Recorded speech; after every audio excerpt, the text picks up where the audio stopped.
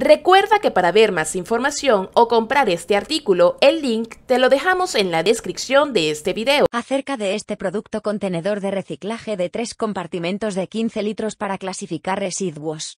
Accionamiento de tapas mediante pedales independientes.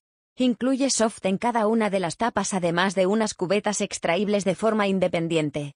Dimensiones, 60 centímetros largo x 34 y medio centímetros ancho x 49 centímetros alto.